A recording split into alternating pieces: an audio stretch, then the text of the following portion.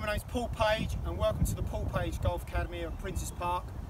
I'm going to show you how to play a short bunker shot or some people would say when you've short-sided yourself, when there isn't a lot of space between your ball and the hole, not much green to work. So you want the ball to come out nice and high and soft, creating plenty of elevation on the club.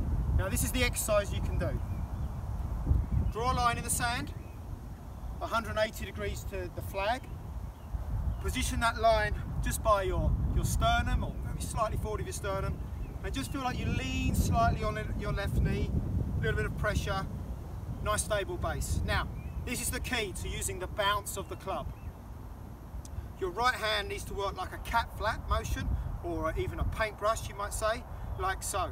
Now look at the amount of elevation I, I can make by doing that. Fantastic, and using the back of the club. So, here's my line. I'm just gonna into the line, into the line, into the line, get better at that.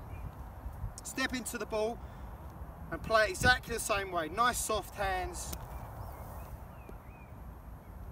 There you go. And you see how that come out nice and soft, pretty good.